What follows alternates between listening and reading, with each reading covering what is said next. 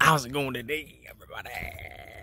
What's up? I hope you're having a great day today, but if you're not, if today you're feeling kind of anxious, kind of worried, kind of afraid, for whatever reason, any reason, if you feel like you have a lot of negative thoughts running through your head right now or on a regular basis, any other time, this is a quick little exercise that really helps me. And I really kind of discovered this today for myself. While I was running, I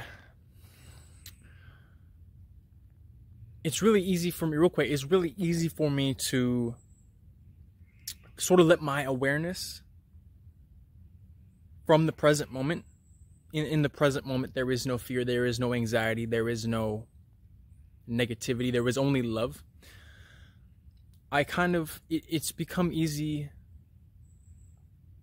due to unconscious behavior due to unconscious thinking my awareness instead of sitting up front and being present in the moment, like being here now in life, it can kind of draw back, like in the back of my mind almost, and it feels like I'm on autopilot. Like I have taken the back seat to my life, and I'm kind of just doing whatever my subconscious subconscious programming wants me to do, and that's as you probably know, this whole world is set up to make you anxious and afraid. So it's really easy to have negative thoughts and like negative. They social media has, has been brainwashing you. You got to realize that. So don't be don't be ashamed. Don't be embarrassed. Don't worry that you are having negative thoughts because this is like a lot of people are. You're not alone. This is normal.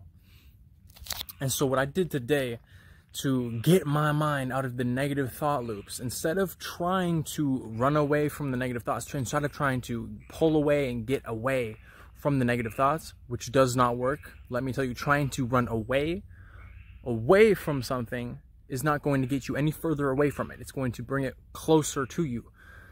Sounds counterintuitive, but if you've experienced it, you know exactly what I mean. Instead, try to go towards something positive, something that you're thankful for, something that you have right now that you are grateful to have in your life. Or I liked to use affirmations a lot today. So while I was running, literally I I would repeat to myself, kind of under my breath, like, I love myself, I love myself, I love myself, I love like like almost the entire time I was running. Just like I was like, oh, I'm high vibrational. I am high vibrational.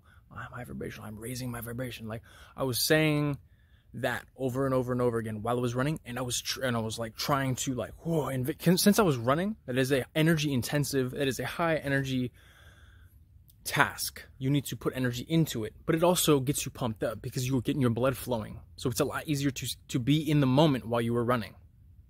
So it's like while I was running, I was telling myself these things. I was telling myself all of these affirmations that really sort they were they were boosting my vibration. They were boosting my my confidence, my self-love, my self-esteem, like my energy. I was having more energy. I was in the moment, present in the moment while I was running. I was I wasn't drawn back into thoughts. Like when I listen to music when I run, I've noticed this. I've I it's really easy for me I listen to music to just kind of take the back seat, let my body just kind of do the work. And while that's nice, because you know, you can go through an entire run and just be like, oh, that was fast. When you are taking the back seat like that, you aren't focused on what you are thinking. So the thoughts that could be running through your mind, like for me at least, when I'm listening to music, I can have a lot of negative thoughts that I'm not even realizing I'm having and that is that is therefore programming my mind to be more negative. and so i really want to emphasize like if you work out with music give it a shot to try to not use music. Because when i use music it kind of distracts me from being in the present moment. Like music is a beautiful beautiful beautiful thing but it can also be used as a distraction from the present moment the here and now where all of your happiness lies, where all of your freedom lies, where all of your power, creativity, ultimate light lies in this present moment right now, like here. Right here. Is it all lies right here. Nowhere else. You cannot find it in the future or to be future or the past. Already happened. It's gone. Right now is the only thing that exists here and now forever. Like this just fact. You have to understand that.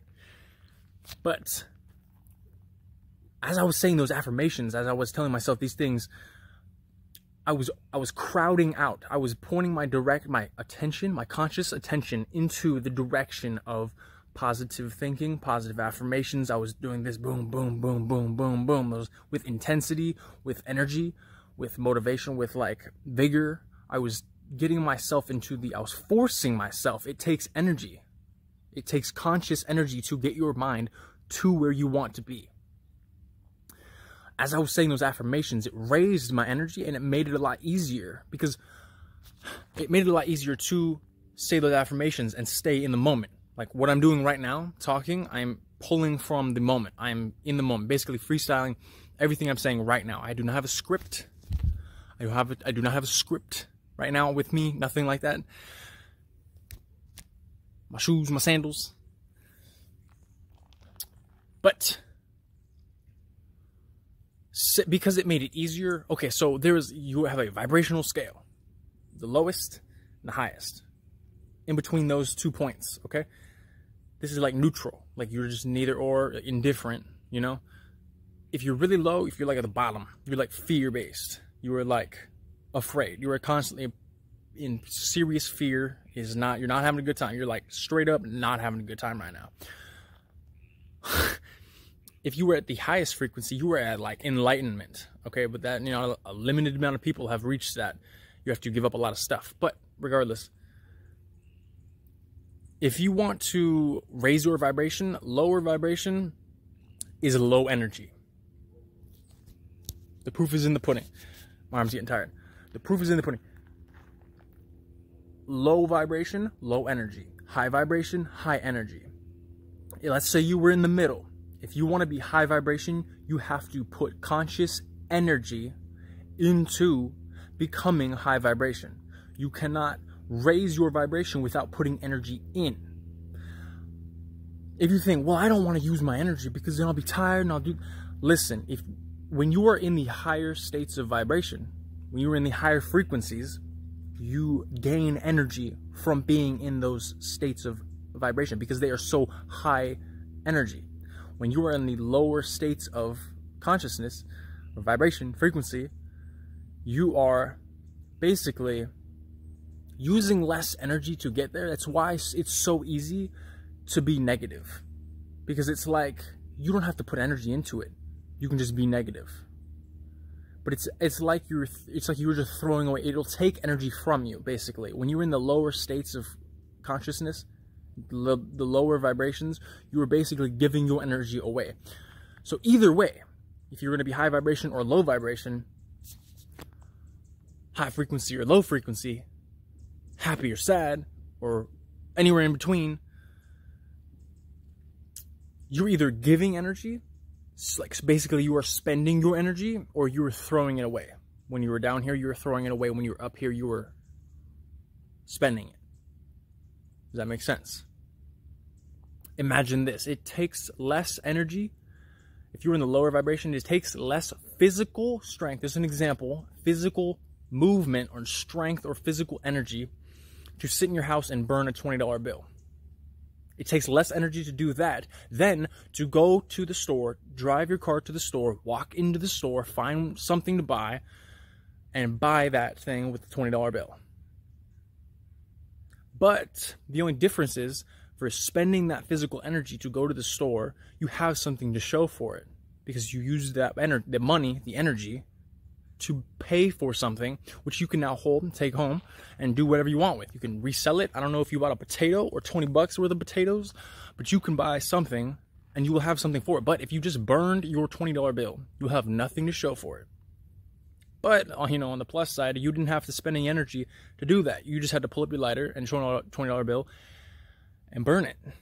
And it took no energy, but you lost that energy. You wasted it, basically. So instead of putting energy in, to get something back, you just let it go. And you said, well, it's easier, but you're wasting your energy. I hope this made sense. I hope this, I hope you gained something from this. Maybe I gave you an idea. Give it a shot. Try to, instead of run away from your anxious thoughts, your negative thoughts, try to run towards positive thoughts, positive thinking. Be careful. Be mindful of your thoughts all the time because it is easy to feel like you're running towards positivity, but in the back of your mind, be running away from negativity. It's really easy to do that. So just be conscious, be aware. Without further ado, with all of that being said, I hope you have a great day, a great night, and a great life. Peace out.